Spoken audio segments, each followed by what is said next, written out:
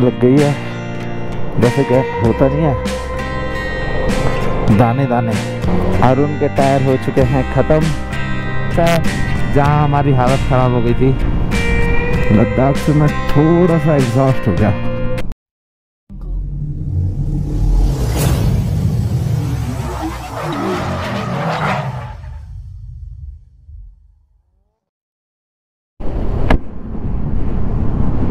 तो भाई रोड इतनी बढ़िया हो रखी है ना कि भगाने का बहुत मन कर रहा है। और थोड़ा मोड़ा सा जाम भी है रोड में, जो आने वाला ट्रैफ़िक और जाने वाला ट्रैफ़िक है।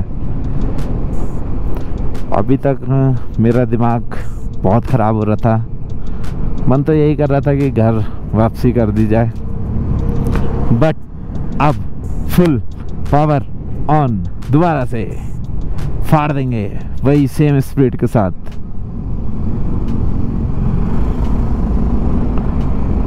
तो नॉन स्टॉप खींचेंगे। आज लगाते हैं पैंगोंग देखते हैं वहीं पे कर लेंगे आज कैंपिंग क्योंकि यार बनता है यार कैंपिंग तो बनती है। हम लोग यहाँ पे रुके हुए हैं और ये अपनी रिश्तेदारी लगवा रहे हैं। एक एक स्कूप के लिए कि इनको एक स्कूप एक्स्ट्रा मिल जाए। तो ये साले आ, अपनी अपनी रिश्तेदारी लगवा रहे हैं। एक ये देख रहे हो और एक ये देखो। ये भाई कहीं भी पिघल जाते हैं बस इनके गाँव वाला मिलना चाहिए। ठीक है? और हम यहाँ पे आइसक्रीम खाएँगे। बहुत दिन हो गए। ये आइसक्रीम के लिए हम इधर से उधर घूम रहे हैं। ठीक है? आइसक्रीम मिलनी चाहिए। ठंड कितनी भी हो। ठंड मैटर नहीं करती भाई। आइसक्रीम इम्पोर्टेंट है। तो गाइज़ हमने यहाँ पे शॉपिंग करी है थोड़ी सी वो मैं दिखाता हूँ हमने क्या क्या लिया है। बहुत प्यारी लग रही है भाई अपनी बाइक आगे से। क्योंकि जो हमने लगवाया है ना, एक नंबर। ये देख रहे हो? क्या प्यारी लग रही है भाई साहब। और हेल चल रही है। इससे पहले अभी आइसक्रीम भी चल रही थी। ये देखो, यहाँ पे चल रही है अभी आइसक्रीम। और भी सामान लिया है थोड़ा सा, जो कि बैच वगैरह है, और ये भी लिया है। भाई, गर्मी लग रही है। तो हम यहाँ रुके थे। अभी आपने देखा शॉपिंग वगैरह करी है थोड़ी बहुत। और ये फ्लैग लगाया है हमने। स्टिकर वाला भी स्टार्ट करते हैं। अभी है यहाँ से।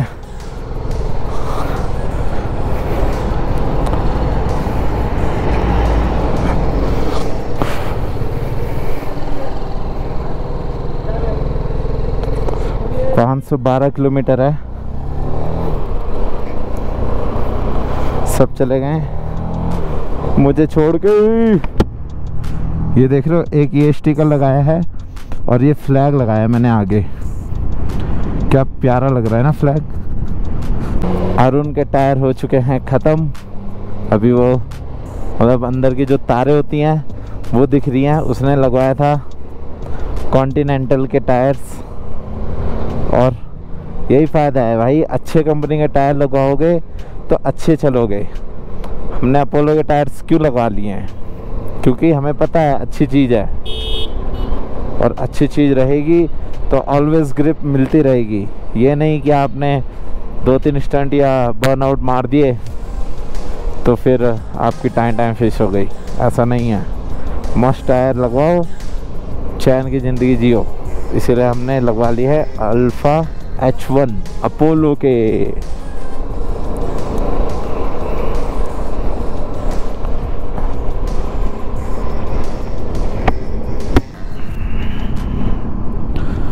और अभी थोड़ा थोड़ा सा खर्चा किया सबने। शॉपिंग किया सबने शॉपिंग किया भाई। ज़रूरी था थोड़ा मोड़ा सामान लेना, यहाँ की निशानी, जैसे अब मैंने ये लगवा लिया है। है ना? ये अब हटाऊँ हटाऊँगा थोड़ी। अगर कभी इसको मैं टिंट करा रहा हूँ ब्लैक तो भी ये लगा रहेगा। कितना बढ़िया लग रहा है। इसीलिए। और ये फ्लैग फ्लैग जब तक रहेगा, तब तक रहेगा। हटाऊँगा नहीं इसको भी। मज़ा आ गया। अब तो पेंगोंग लेक पहुँचना है शाइन शाइन करते हुए।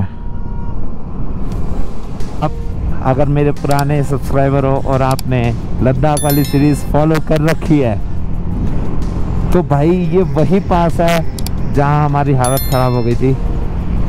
पूरे लद्दाख के सीरीज़ में एक यही वो दिन था जो मेरे से भुलाया नहीं जाता। मेरे को अभी भी याद है और मेरे गूज बम्स आ चुके हैं। भाई, वो दिन याद करके, क्योंकि उस दिन भाई साहब, बस ये वाला सीन था, अरे भगवान, नीचे भगवा दे जल्दी से। इतनी सुनो देख लिया अब नहीं देखनी। वो वाला हिसाब हो गया था उस दिन तो। फिर ये भी नहीं था कि ग्रुप कहाँ है। वो वाला सीन हो गया था कि अपनी जान बचाओ और भागो। बस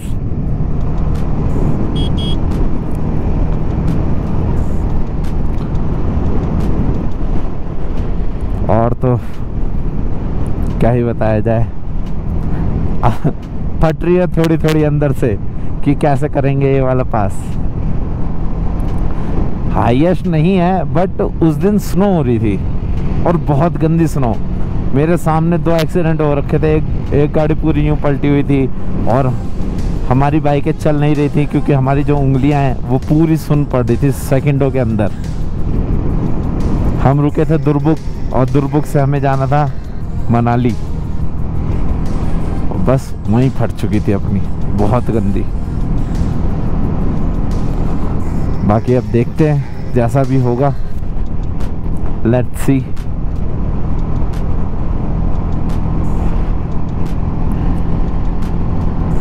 और ये व्यू भाई, क्या ज़बरदस्त व्यू है यार। अभी मेरे को अंदर लेयरिंग करनी पड़ेगी। और अभी से ठंड लगनी चालू हो गई है, क्योंकि पास आ चुका है। थोड़ी सी दूर पे अपने से, लगभग होगा 12 से 15 किलोमीटर की दूरी पे।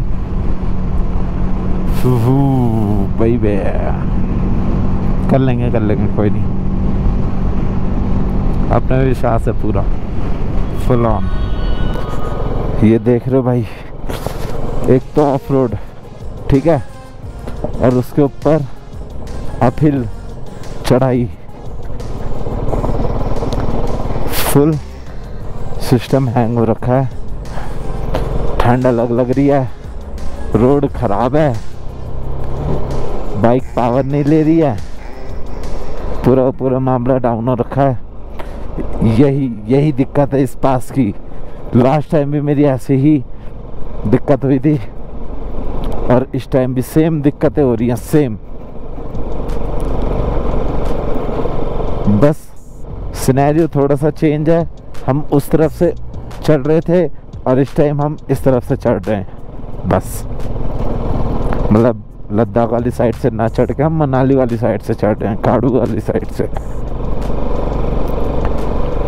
बहुत फ़र्क हो गया। है। ना बट इधर की चढ़ाई ज़्यादा टफ है।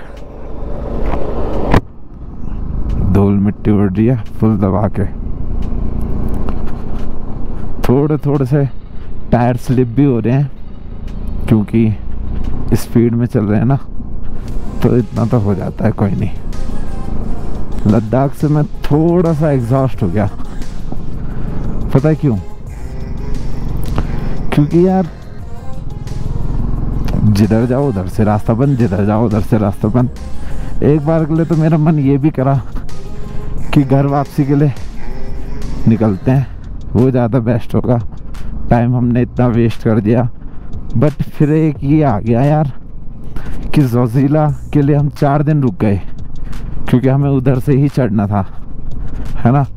उससे सही तो हम उस चार दिन पहले ही वापसी निकल लिए होते। तब पैसे बच जाते। बट कोई नहीं। जैसे भगवान की मर्ज़ी। जो उनको अच्छा लग रहा है, वो कराएँ। हम तो करने वाले हैं। कर देंगे। कोई दिक्कत नहीं है। बाकी चलो, आपको मिलते हैं। जब पास आएगा तब। अब तो ये रोड पूरी ऐसी ही रहेगी। मैं, मेरे को याद आ गया है। रोड पूरी ख़राब है, पूरी। शक्ति के बाद से पूरी रोड ख़राब है ये। छोटे छोटे पत्थर ना हो ना तो इनमें भी अच्छे से चल जाए अपनी बाइक।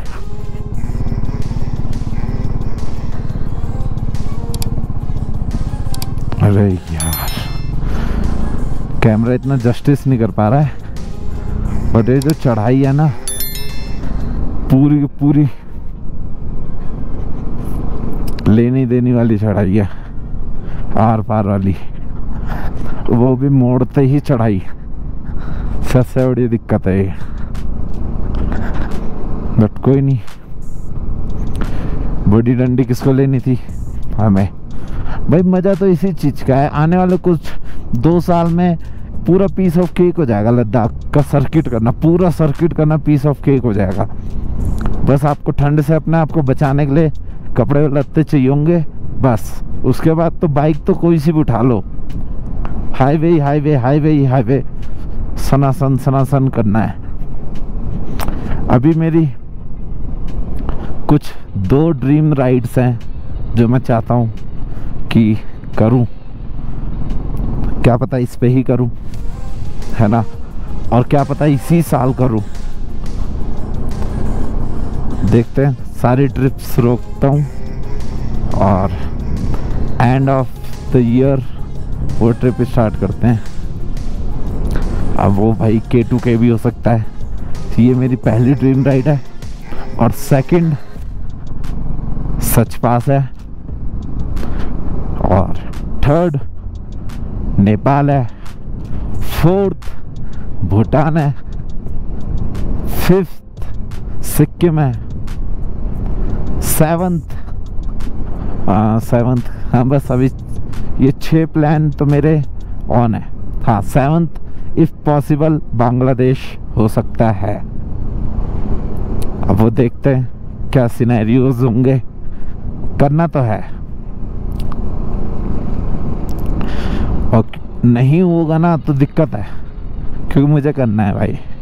साम डाम दंड भेद। पाँचों का इस्तेमाल करूँगा।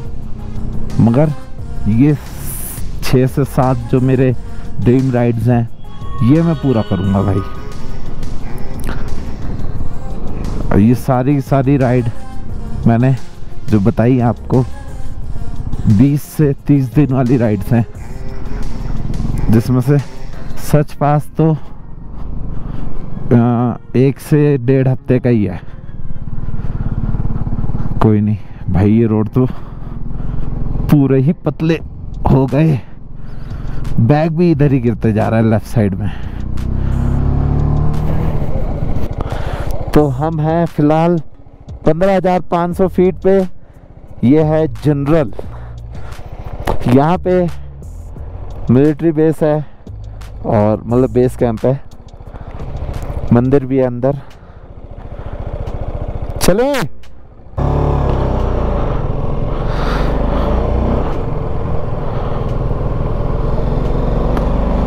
भाई फ़ैन चालू हो गया। इतने ठंड में भी इंजन गर्म हो रहा है। 107 डिग्री।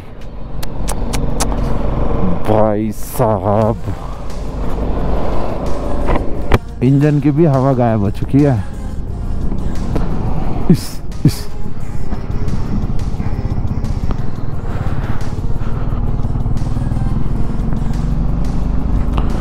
और चढ़ाई सीधे यूँ होते जा रही यूँ। अब 101 डिग्री आ गया है। कम हो रहा है, कम हो रहा है। 99 हो गया। ऐसे कम होते जाए भाई। रोड अच्छी होनी चाहिए चढ़ाई कितनी भी हो जाए अभी जो पीछे पाँच छः किलोमीटर का पैस था ना, उसने तो भाई हालत ख़राब कर दी, बहुत गंदी। ये लगा लो साँसें रुकने वाली सीन था। और ये रोड तो फिर भी बहुत अच्छी है, उससे। और सामने देखो स्नो वाले जो पहाड़ थे, वो बादलों से ढक चुके हैं। मेरे हिसाब से स्नोफॉल हो रही है वहाँ पे दबा के। तो अपने को भी मिलेगी स्नोफॉल